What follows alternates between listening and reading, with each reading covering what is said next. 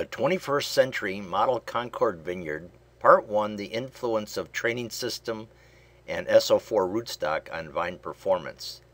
This is a project being conducted at the Southwest Michigan Research and Extension Center near Benton Harbor, Michigan, and we acknowledge the support from the National Grape Cooperative, from Project Green of MSU's Ag Bio Research, and from MSUE Extension.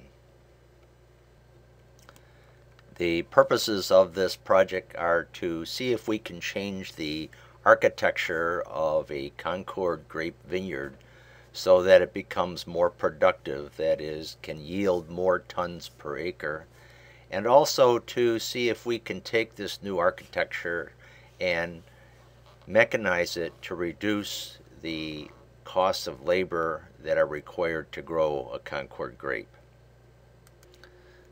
Please keep in mind that this presentation is a progress report on this project and that the data that we present is just that. It is not a suggestion of the sustained yields that are attainable with this project or that the fruit quality that we attained this year is the necessary targeted goal. We allowed vines to fully crop in this first full crop year of this vineyard, and we will be seeking to find the long term sustainable productivity of these vines in the years to come. This is a schematic drawing of a current standard Concord grape vineyard. We have a top wire cordon training system, sometimes called Hudson River umbrella, with a trunk up to the top of a six foot tall trellis, cordon established along the top wire, and then varying lengths of canes or spurs along the top of that cordon. The standard dimension of vine spacing we're saying is about 8 feet and that does vary from one grower to another. Looking at this schematic in another way, it would look somewhat like this looking at it from the end of the row with a fruit bearing zone at the top of the vine and then the canopy of leaves falling down the length of the trellis. A typical Concord Vineyard in Michigan, at least, has a row spacing of about 9 feet. And this is what that looks like in practice.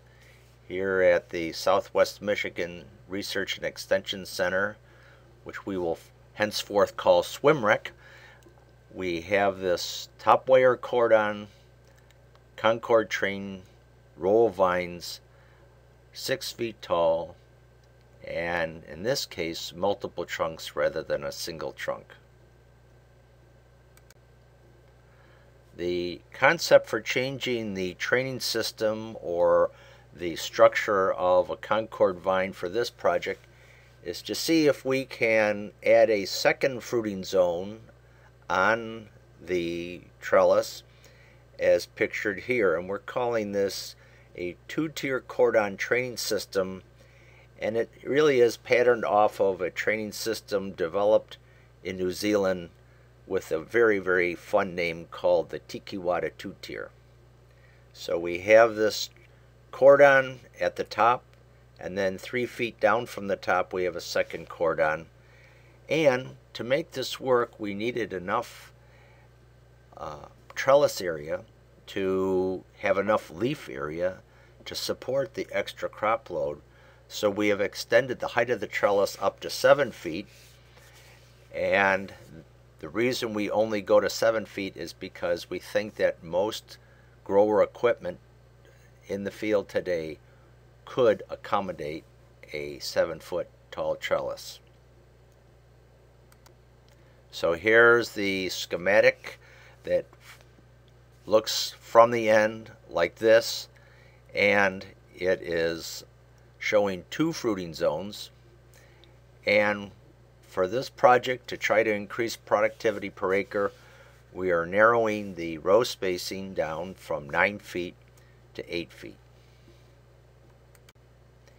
And here it is applied at the SWMREC facility. Way back in 2005, we had this in place and we've been working with this for over a decade now. You can see the post extensions and the start of growth back in 2005 of a two-tier cordon trained Concord vineyard. One might ask, why is that different than this four-arm Kniffen training system that was devised around 1852 by Mr. William Kniffen in the Hudson River Valley of New York. There's two fruiting zones here along a, a, top wire and then down in this case 22 inches. So why is this any different? And my answer to that would be that one, we're doing cordons instead of canes, but more importantly, we're changing our whole outlook on how we manage the canopy or the leaves of the vines that we are that we are using. In this case, back in the 1800s, vines were trained during pruning to a wire or wires like this, but there was no manipulation of the shoots of the leaves on the vine and this system worked back at that time because the vines were so small. They weren't fertilized, the weed control was modest, uh, and there would be small vines that would be open producing modest crops back in the mid 1800s. As technology advanced and we were able to exert better weed control and to fertilize vines, the vine size grew and when that happened, those lower canes on the wire down 22 inches became more and more shaded. They became less and less fruitful. And they ultimately contributed little to the overall productivity of the vine. And that's why we over time evolved to the top wire cordon training system. So if we're going to have two fruiting zones, on the vine, we're going to have to do something different than was done back in the 1800s. We're going to have to exert canopy management. Let's take a look at these four variations. Here's top wire cordon, the standard six foot top wire cordon in June of 2015 and that's what vines look like and this is the start of the first fruiting, full fruiting year of vines in this project. This is the same top wire cordon, but these vines are on an SO4 rootstock to make them much more vigorous and larger. You can see before I switch to the next slide, uh, there are lots and lots of clusters developing on this young vine on top wire cordon, and with an SO4 rootstock. From there, we transition to the two-tier cordon. These are on own-rooted vines, no rootstock here, and this is what they look like on June 2nd of 2015 with the start of growth. And then lastly, we have the two-tier cordon but on an SO4 rootstock. And to me, those vines look more vigorous, larger, somewhat larger than those on their own roots. Before we show you the next slide, I'm going to say that we're concerned that if we try to crop these vines more, they're going to become devigorated, the vine size will become small, and that's why we're considering a rootstock rather than just own-rooted vines. So here, just 19 days later, is this vineyard, and it's beginning to look more like a jungle than a vineyard with all of the growth taking place in the third week of June. If we were to just let the vineyard grow like this without any manipulation of the canopy, we would ultimately have a disaster. So from here, we need to decide how are we going to keep the shoots on these vines under control and managed well rather than just let them grow randomly like this. And it's for that reason that vineyard mechanization is a major component of this project. Without it, we couldn't begin to have the type of vine architecture that we're seeking. Here's a picture from 2013. We spent several years developing this mechanical shoot positioner. You can see it at work just uh, a week or two after bloom in 2013. And the idea here is to get a more structured, organized uh, vine with the canopy down the sides of the trellis with the clusters at the top well exposed to sunlight and that area along the cordon at the top well exposed to sunlight so that it can develop fruitful buds for producing next year's crop. Here we are in 2015 with this unit and you can see on the 21st of June what a jungle we have and we're going to see this unit working. We lose a few leaves in this process but we've made this unit so gentle that we virtually lose no crop with this manipulation. We have two five foot long barrels that go along both sides of the trellis at the same time to position these shoots. There we are. So as a result of that operation, and we just do this one time, about two weeks after bloom, you can see how the shoots are now pendulant, how the clusters at the top and on the second row of cropping on the lower cordon are also being positioned because those barrels are long enough to reach down to the second cordon.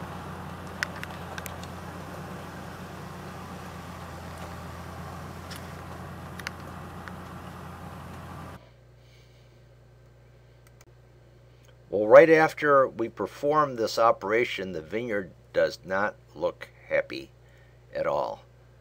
But within a couple days, the shoots have reoriented so that we have the normal orientation of shoots and leaves. But I have to admit, the day of this task, things look unhappy on the vines. But it's a very temporary situation. We're also working to mechanize the pruning component of this project. This is a French-built blank pruner, and we have a ways to go yet. Admittedly, this is an ongoing part of the project, but we have a good start on it, we think. Uh, but there are other aspects of this mechanical pruner yet to be developed to make it fully functional. We need to do this on a trailer, we feel, because there's too much weight for the positioner and for the pruner to hang it off the right front end of a tractor. So that's where we're at on the mechanization of pruning in this project at this time. So here we are, July 20th. This is now a month after the shoot positioning that took place on June 21st. And we have on the left the standard six foot top wire cordon and on the right the seven foot two tier cordon. And you can see quite a difference in the architecture of the vineyard. You can see that there's still uh, the appearance of a well positioned, the shoots are hanging down. If you look carefully on the vines in the foreground, you can see clusters well exposed to sunlight a month after this positioning. And here's some video of that, the top wire cordon. You can see occasionally you'll see a broken shoot and brown leaves. But by and large, this unit of uh, positioning is rather gentle on the vines. And on that same day, the two-tier cordon, that's the upper cordon at the top, of course, and then we dip down and we take a look at that second cordon near the bottom, uh, three feet below the top wire. And you can see that the clusters are exposed, perhaps not as well as at the top, but reasonably well exposed to sunlight a month after positioning. Well, let's skip ahead. This is file footage from 2014, just showing you that uh, one of the National Grape Co-op members, Mr. John Inkelman, uh, is gracious enough to help us with the mechanical harvest of this vineyard and his two BEI machines um, do get over that seven foot tall trellis.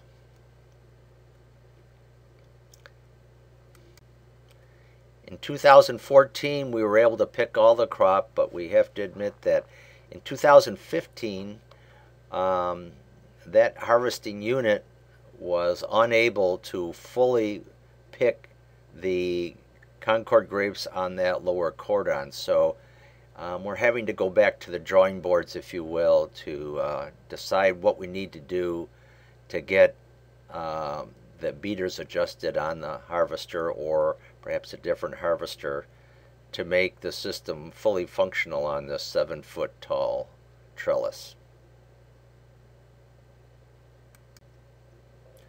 Here is the uh, payout sheet. I'm not sure what it's called, but something like that.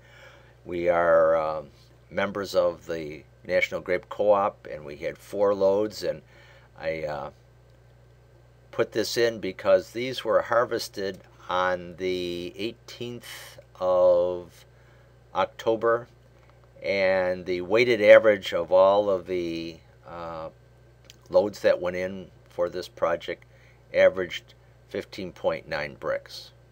So because the numbers we're going to show you now for our plot work are not going to be the same soluble solids, but they were harvested about a week earlier than the commercial harvest.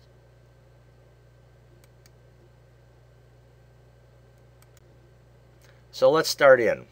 Hoping you remember we have two training systems, top wire cordon, two-tier cordon, and those have either uh, a rootstock or none, their own rooted vines. So there's four treatments.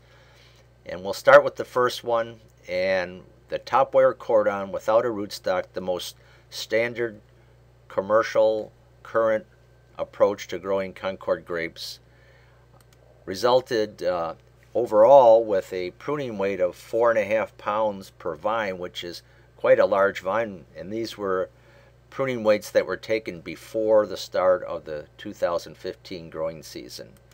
We had a yield of about 12.8 tons and the Brix were 14.7 on the date of harvest here uh, of our plots on the 13th of October.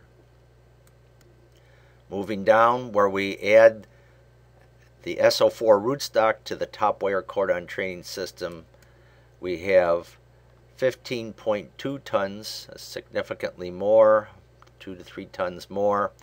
And I would say that the pruning weights for all of these remained uh, about the same across treatments, so we won't talk about those anymore for the moment. And then the Brix was 14.9, which statistically is no different than the 14.7 of the treatment 1. Now we get into the two-tier cordon, and we had a yield that was comparable to treatment 2, in this case 15.8 tons, and the soluble solids we measured were 15.0, once again statistically not significantly different than the other treatments. The two-tier cordon with the SO4 rootstock had a whopping 20.2 tons to the acre, and the soluble solids were at 14.6 which again is not statistically significant, but certainly would be significantly different for a grower trying to uh, deliver these uh, to market. But in terms of our numbers that we gather and analyze statistically, those four Brix uh, were identical.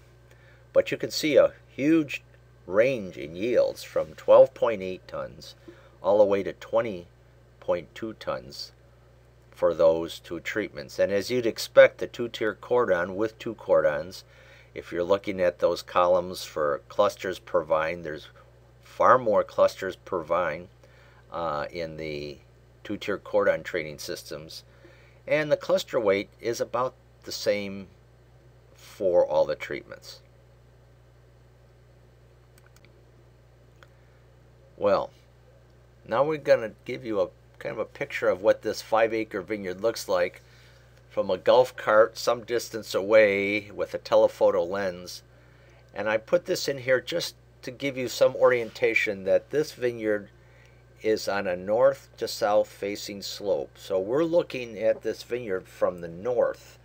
And so it slopes downhill essentially from the south to the north these look like short rows because of the telephoto lens, but they're actually 400 foot long rows. And I say this because we're going to show you some differences now that relate from the top of the vineyard on the south end in the background to the north end of the vineyard, which is in the foreground. Um, and we're just going to do some analysis of our yields and fruit quality based on whether we were at the top of the slope or at the bottom of the vineyard on this slope. Okay, let's start out and discuss the top of the vineyard and the bottom of the vineyard in regard to soil tests that we took there. And we acknowledge that the National Grape Cooperative provided for us soil test kits and petiole test kits that made this sampling and analysis possible.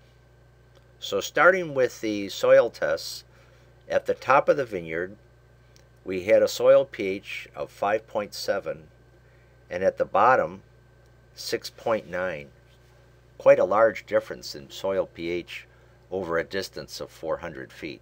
And so we begin to put together a picture of how dramatically different these vines are 400 feet apart from the top to the bottom of this vineyard. If we look at the soil tests in terms of organic matter, oh my gosh, 1.85% organic matter at the top of the vineyard and 3.35% at the bottom. That's 81% more organic matter at the bottom of the vineyard. So this is going to start to tell the story of how these vines are performing differently because they are inherently in quite different situations from the top to the bottom of the vineyard. Going on, the cation exchange capacity at the top 5.2 milliequivalents per 100 grams versus 8.15 that's 57% more cation exchange capacity. That means that the soils at the bottom had 57% more capability of holding on to available cations, the positively charged ions in the soil, than at the top. So when we look at those cations, potassium, phosphorus, magnesium, calcium, the differences are dramatic in three of the four cases. Potassium was about the same top to bottom, but look at the huge differences in phosphorus, magnesium, about a fourfold difference, and about a threefold difference in calcium. So we're dealing with quite a different soil chemistry from the top to the bottom of this vineyard. When we look at the pruning weights then, not across all vines in each of those treatments that we mentioned earlier. But if we look at the size of vines at the top of the slope, where we have less fertile, if you will, and less uh, organic matter in the soil and less cation exchange capacity, the vines at the top of the slope averaged 2.8 pounds of pruning weight, and those at the bottom 6.4, you know, more than twice as large. And for those who aren't familiar with pruning weight data, we would generally expect that a large vine planted on an 8 foot spacing would have a pruning weight of about 3 pounds when it's considered large. So the vines at the top of this slope were just perfectly matched to the space allotted for them, but the ones at the bottom are out of control with huge, huge vine size, twice what we'd really like to have. And the smaller but still large vines at the top actually produced more yield than those at the bottom across all the treatments.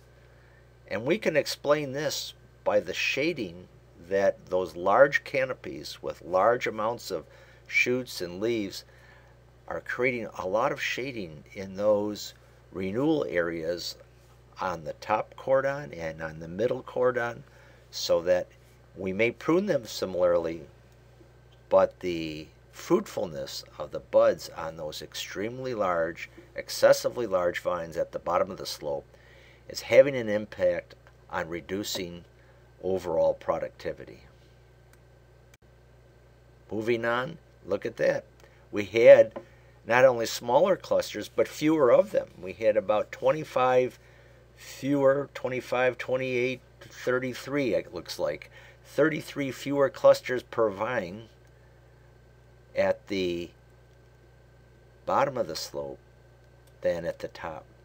So the impact on shading is impacting fruitfulness as measured by clusters per vine. And the Brix were greater at the top of the vineyard, significantly so in this case, statistically significantly so, where we had the larger yield of 17.6 tons to the acre. We had a Brix of 15, and this is on the 13th of October. Keep in mind, this is a week before the commercial harvest, and 14.5 Brix for the 14 ton yield at the bottom. And we attribute this to not only the soil chemistry and the difference of the performance of vines in soil chemistry, but our ability to position the shoots on these vines effectively or not based on those large vine sizes. We can't take extremely large vines and expect that our mechanization is going to make up for that imbalance on the vine, that excessive vine size, only to a. And then we're still going to have some shading that's going to take place. So we've got to do some things at the bottom of this vineyard in future years to get those vines back to a size that is more appropriate than we have presently. Now we're going to take a look at those four treatments again. And we're going to start by looking at just the treatments at the top of the slope and see what we can see there and then contrast them to those at the bottom. So here at the top of the slope with the lighter soils, lower organic matter, less cation exchange capacity, less capacity to hold water, water holding capacity, so that the vines don't develop as vigorously. Let's take a look at some of the numbers here now. Well, the pruning weights we had said earlier were averaging about four and a half pounds across all these four treatments.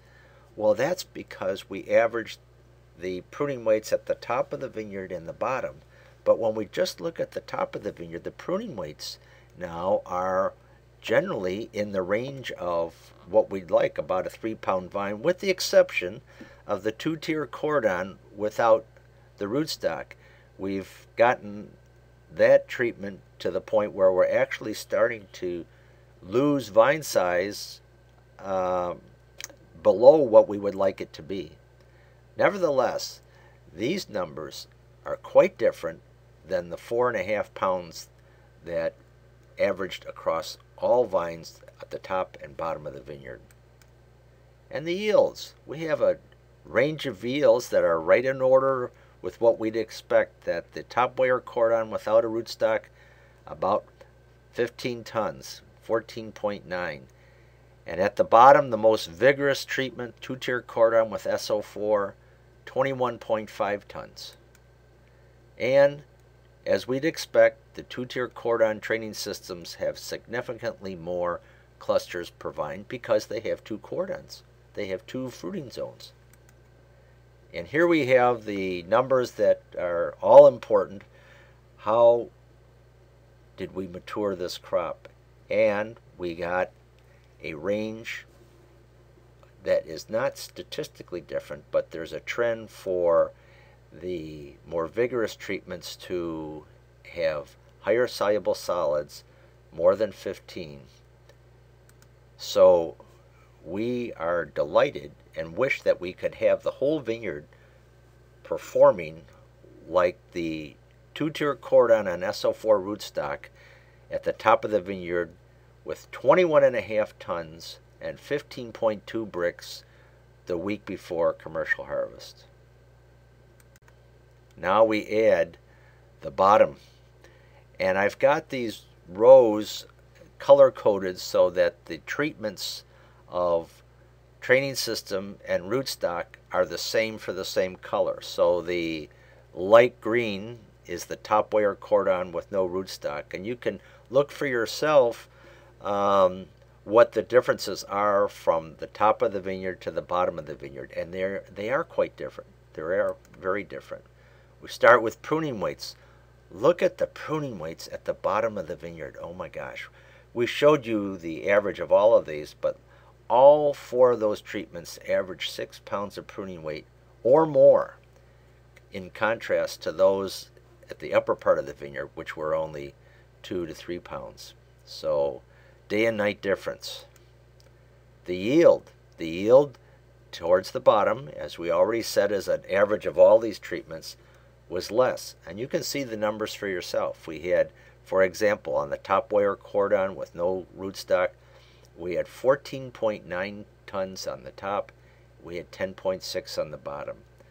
And as we go down through, the overall treatment with the highest yield and the highest soluble solids too was that treatment at the top of the vineyard with two-tier cordon and SO4. Moving on clusters, we've said this over and over that when you have more cordons, you have more clusters, and there are the soluble solids.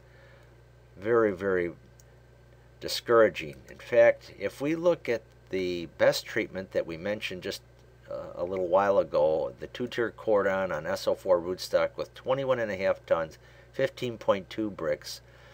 contrast that with the same two-tier cordon on SO4 rootstock at the bottom of the vineyard has about three tons to the acre less and very statistically significant more than one degrees Brix less even though the yields were uh, also less so here we have the same management of those vines at the top of the vineyard as the bottom but the outcome is entirely different. And the take home message is we not only need to apply a certain regime or a certain architecture and a certain, man, certain management skill to our vines, but we have to do that within the context of the overall vine size. And where we're out of control with excessively large vines at the bottom, many, many growers know this is not a good formula for success of yield and fruit maturity. Let's now look at some grape leaf petiole test results that we took as a part of this project. And we're going to look at those in regard to the four treatments that we have been mentioning over and over. Top wire cordon, two-tier cordon with and without an SO4 rootstock. And we've already showed you the yields there and the range of yields, and we wondered if those yields would have uh, an impact on the nutrient levels in the vine. And what we found was no. If you look up all across all of these macronutrients, uh, nitrogen, phosphorus, potassium, magnesium, they are statistically insignificantly different from one from one to the other across all four of these macronutrients. Well, then we looked at the micronutrient concentrations in those leaf petioles. And micronutrients are those that are present in parts per million rather than whole percents. Uh, and generally, generally, there was very little to no difference among those four treatments for all of these micronutrients. If you're a statistician, you might see a little glitch in the zinc, but we think that's just an anomaly. By and large, we had levels of these micronutrients all pretty much the same across all four treatments when we averaged them at the top and the bottom of the vineyard. There were nutritional deficiency symptoms in Michigan Concord vineyards in 2015. And we had some symptoms showing up in this model Concord vineyard also. So, sort of as a side trip, we're going to take a look at these and see what we can learn. This was a picture of one of the areas that showed some symptoms, and so we set out to take petiole tests in those problem areas and contrast them with petiole tests we took where there were no nutritional deficiency symptoms showing. Let's start out. This is actually something from a publication of Cornell University who really is renowned in grapevine nutrition and this was published several years ago and I'm going to use it as a reference point. And we're going to start out and we're going to talk about three nutrients only. The first one is potassium. And potassium is considered deficient when the petiole test taken 60 to 70 days after bloom as the crop is ripening, when that potassium level in the petiole goes below 1%, that is regarded as a deficiency level. And when you have potassium deficiency, one of the symptoms that shows up is this scorching on the margins or on the edges of the leaves like this. Or you may have the condition known as black leaf. Uh, and that looks like this. So we thought we saw some of this in the areas that were having problems this year. So here is the table. The table is cons uh, consists of in the first row the data are where we did not see deficiency symptoms showing up and then in the second row where it says yes that's where we had symptoms and we're just going to look at it in that way and we're going to start now with potassium and keep in mind less than 1% would be regarded as deficient. Well, here we are where there were no deficiency symptoms. We had an average across all the tests of 1.13, which is getting down close to that deficiency level. And sure enough, the range of those tests suggests that some of the tests were in the deficiency range, even though no symptoms were showing.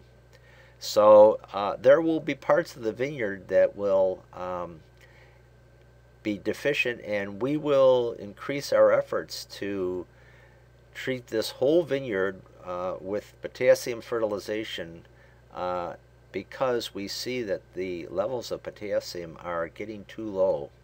Where we saw symptoms of deficiency, they averaged 0.47, which is way below that less than 1%. And look at this every one of those tests, I think there were six or eight of them that we took, and every single one of them was in a range that showed deficiency. So a lot of those symptoms we saw in the leaves could be traced back by petiole analysis to low levels of potassium. Moving on, we're going to look at another macronutrient, magnesium, and it would be considered, generally speaking, deficient when the level dips below 0.35%. So the deficiency of potassium, or excuse me, magnesium, looks like this. And a key factor in analyzing and, uh, and recognizing magnesium deficiency in a leaf is that you get that interveinal chlorosis and scorching, but at least on some of the leaves, some of the margins stay green. Can you see the left side of that leaf uh, where my forearm is located? You see that margin of the leaf that still has some greenness to it? That is a situation that only occurs as magnesium deficiency. So certainly uh, we're dealing with magnesium deficiency here. And keep in mind that when we have problems with nutritional problems, it's it's often not just one nutrient. It can be a complex of them. And the magnesium level on this particular sample was 0.38%, right down uh, in that uh, headed for the less than 0.35. So we definitely had some magnesium, magnesium deficiency showing in some of our samples. If we go to our table where we had no symptoms showing, it was at 0.5% on average, which suggests the, uh, as it should, that uh, on average there was no magnesium deficiency.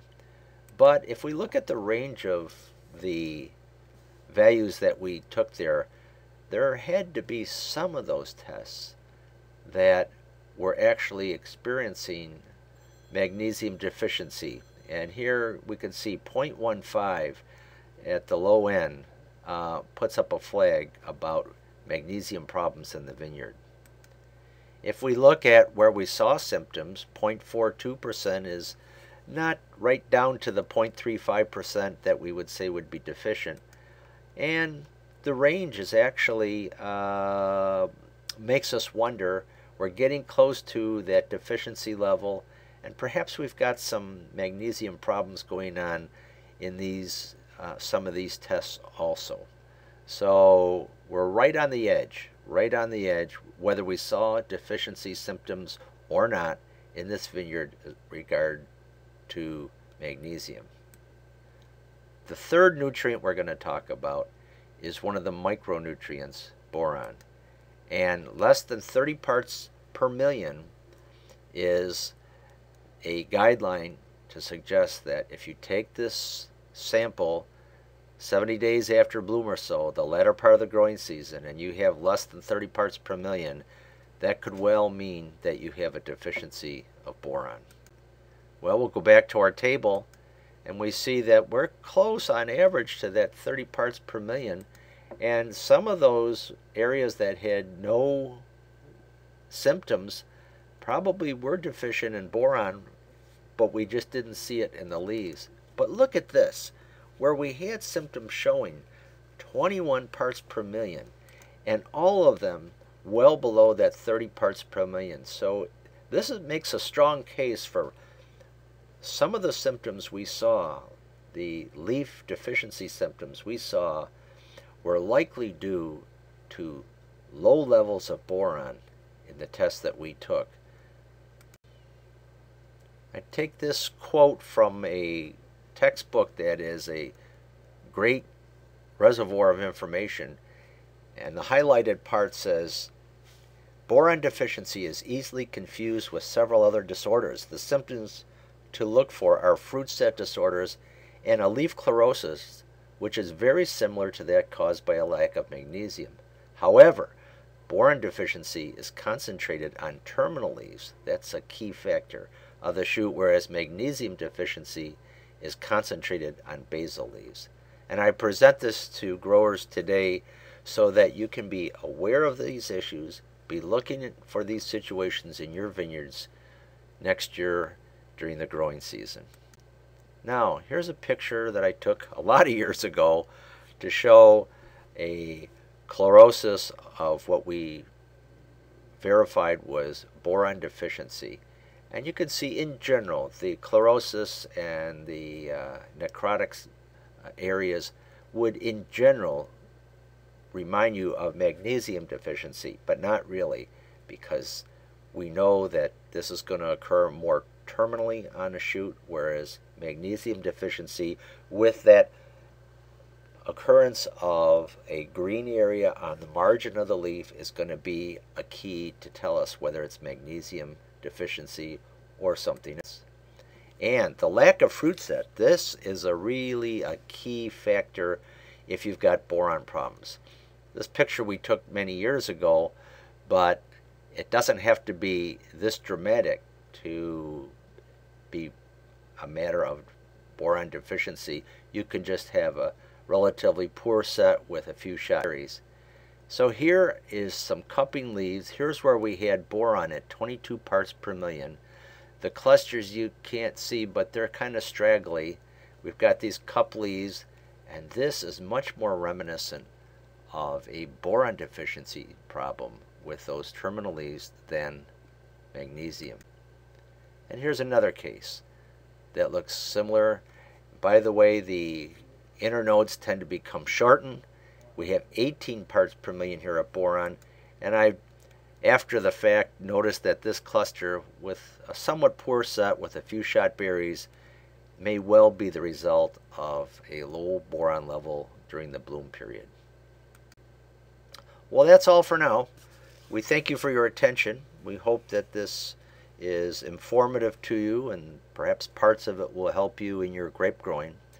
And we'll report further developments in this project as they occur. We can't wait to get on with 2016 and see what we can do to correct some of the problems in this model Concord vineyard. You can bet that we're going to do some things to the lower part of that vineyard uh, to get that large vine size back under control. And we'll report on that the next time around.